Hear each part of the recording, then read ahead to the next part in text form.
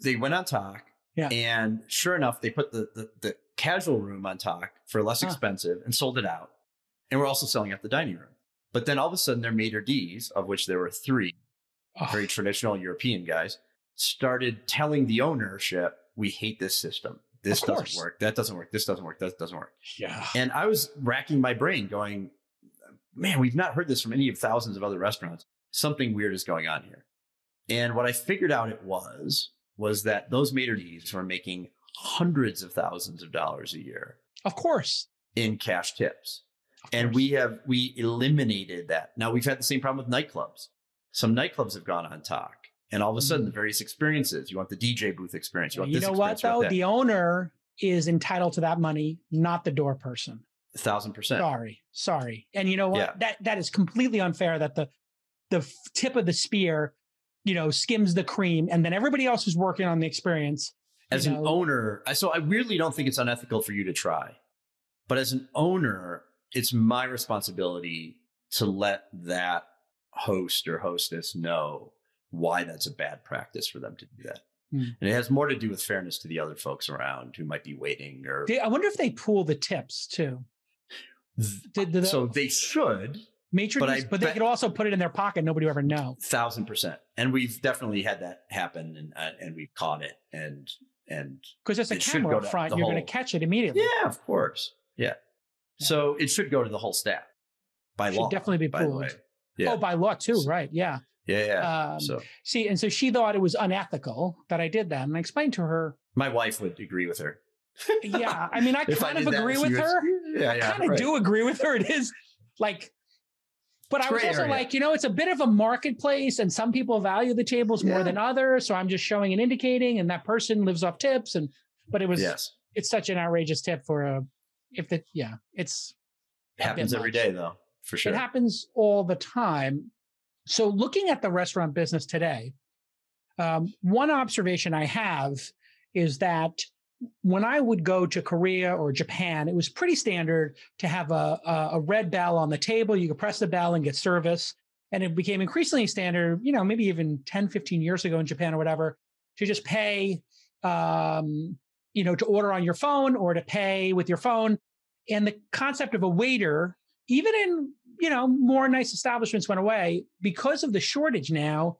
And with these QR codes for the, I'm seeing restaurants that were absolutely driven by the waiter experience and being waited on move to a runner. So you order it yourself, you close out your tab as you go using whatever it is. Toast, I think, is one popular one. I don't know if you Tock provide has that. that. Tock, has, that built well. into.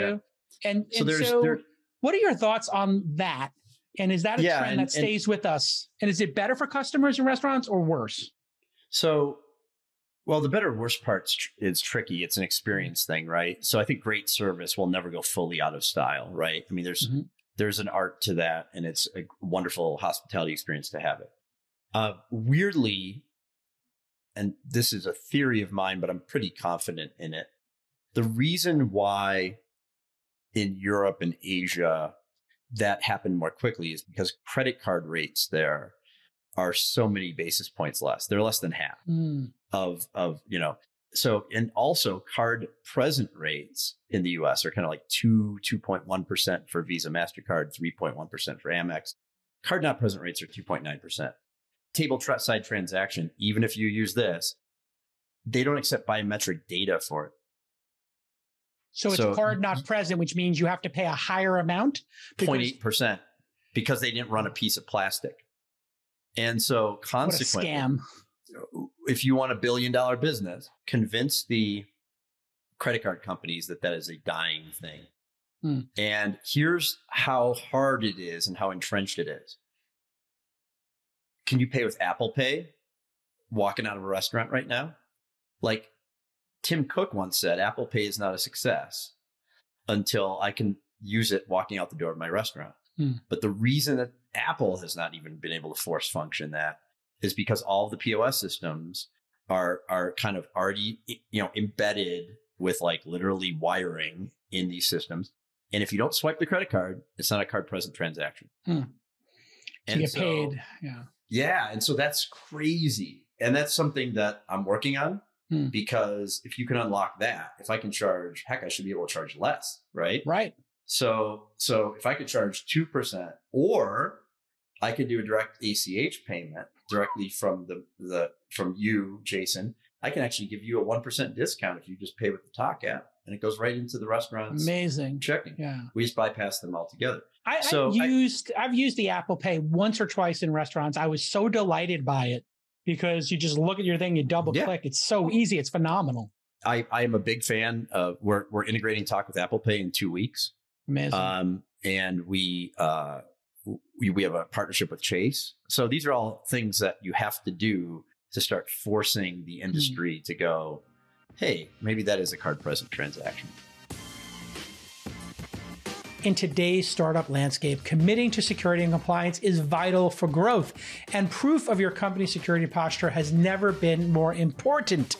As you scale, you might start to receive more SOC 2 requests from customers, and that's where Drata comes in.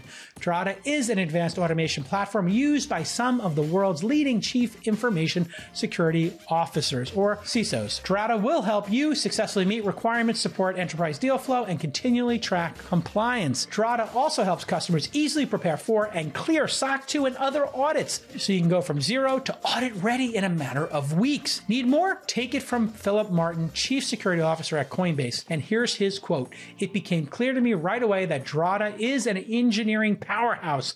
The solution they've developed is well ahead of other market players. Their approach to deep native integrations provides users with the most advanced automation available. So check out Drata's five star reviews on G2 and see why companies like ClearClose, Smart Recruiter, and the Goodface Project work with Drata for their compliance needs. Twist listeners can get 15% off and waived implementation fees at drata.com slash twist. D-R-A-T-A dot com slash twist.